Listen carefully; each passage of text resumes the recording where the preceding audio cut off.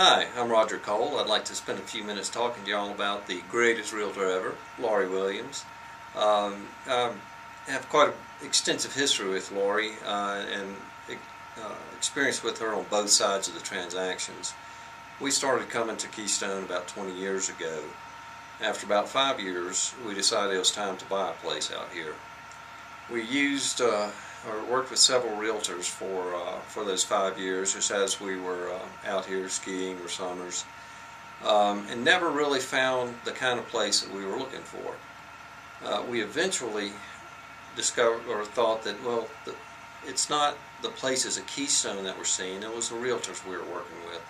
We always felt like we were getting some high push um, sales pitch from them. Um, they were trying to get us to buy the next place we saw, not understanding what we wanted. Um, I understand that realtors are trying to sell the seller's property. They, they work for the seller.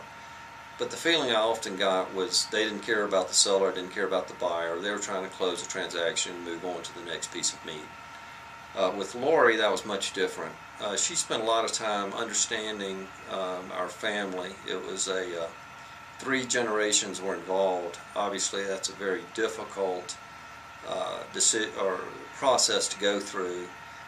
But she understood what we were, what we needed, what we were looking for, and she was able to find a perfect place for us. We have been really delighted with it. Grandmother all the way down to the grandchildren. Uh, it's now due to deaths and changes in the family. We're going to have to sell our place.